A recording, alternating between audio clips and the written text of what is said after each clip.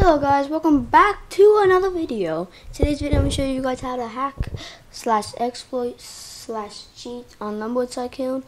So yeah, you need to go to wearedevs.net.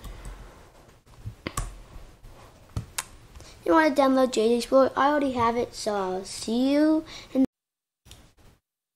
so, uh, yeah, you want to copy the script that's in the description right now. The script is in the description. You want to delete that and copy it and paste it here. Then hit execute. Okay, so I'm kind of running out of time here, so this is a lot of stuff you can do with it. Like, you got all these GUIs here. There's even more if I can do this. Wait, no, there's no more. But yeah, you can fly, no clip paint. Not, a, lot, a lot of this stuff doesn't work, but still, most of it works. And I just realized I just messed up big time.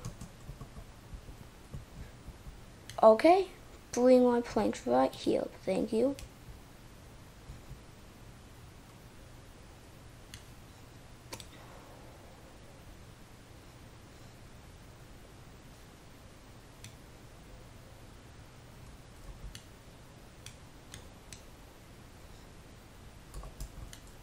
Yeah, guys, you learned a lesson. Do not do that.